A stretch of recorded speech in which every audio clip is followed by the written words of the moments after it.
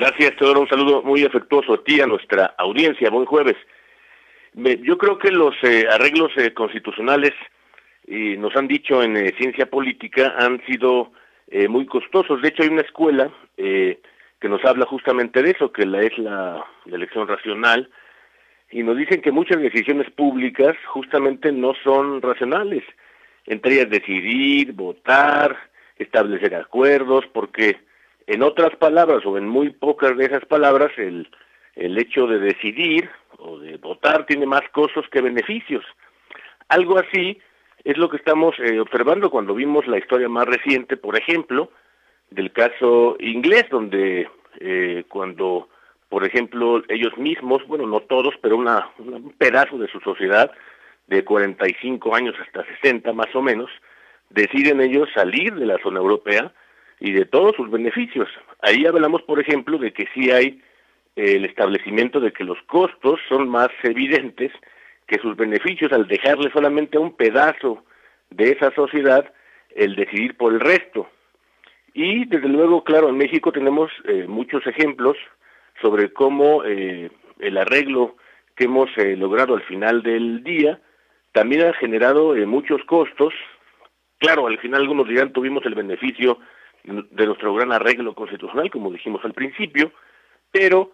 eso no borra que esos, eh, esas elecciones racionales que algunos llamaron en su día, hablamos por ejemplo del eh, siglo XX, cuando teníamos eh, problemas desde luego evidentes en cómo ponernos de acuerdo, porque no hay duda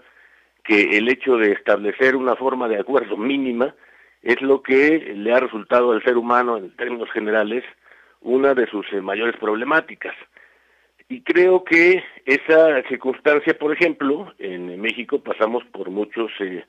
problemas de gestas armadas. Tuvimos el problema del conflicto cristero,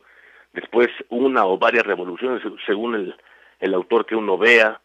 Hay un autor que incluso le llama que la revolución fue interrumpida. Y, desde luego, todo ello eh, terminó de cuajar en un gran arreglo constitucional, pero muy eh, posteriormente. No lo pudimos ver con todos sus luces eh, en el primer, por ejemplo, el, el, primer tramo del siglo XX. Tuvimos que esperar hasta que una vez eh, se consolidaran los arreglos, por cierto, de las dos guerras eh, mundiales. Todas esas conflagraciones llevaron a que México, por ejemplo, tuviese, como dijimos al principio en esa elección racional, más costos que beneficios de tomar una decisión o también de hacer una serie de acuerdos mínimos para su convivencia. Es de ese modo como me parece que cuando hablamos de los eh, términos, por lo menos en las palabras cualitativas, es muy distinto cuando hablamos quizá de la economía, quizá de la estadística, de las matemáticas,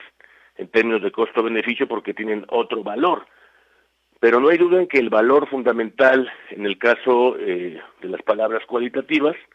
son justamente la convivencia humana, el, bienestar, el cómo ponernos de acuerdo, el eh, beneficio de amplios segmentos de la sociedad. Y creo que todo eso es lo que nos debe involucrar para que nosotros, eh, los mexicanos, tomemos nuestro gran acuerdo. Y cada que nos ocurre esa eh, coyuntura, desde luego, hay muchos problemas de cómo resolverlos. Por eso me parece que cuando tenemos enfrente una eh, posibilidad como la que hemos eh, resuelto en la humanidad de decidir entre todos es, eh, me parece que el, mejor evento que nos puede suceder. Cuando hablamos también de costos y beneficios, hablamos de razones, de indicadores de la vida pública, de cómo, por ejemplo, hacer la política, cómo hacer la administración, cómo cuajar el desarrollo. Todos esos problemas tienen, digamos, un cauce, pero comienzan justamente por ese planteamiento inicial. A veces decidir, a veces votar, a veces convivir, pues sí, al principio tiene más costos que beneficios, pero en el camino de ese encuentro que nos vamos dando todos, de ir desarrollándonos juntos, es como vamos encontrando cada quien su punto de contacto y también de ese modo alcanzar al final de ese día la cúspide, que para el caso de los países significa el, proceso de desarrollo. Podemos hablar de México más o menos de que estamos en la economía o 12 o 13 o 14 y lo cierto es que durante una buena un buen pedazo de la década de los 90 estuvimos más o menos entre las primeras 10.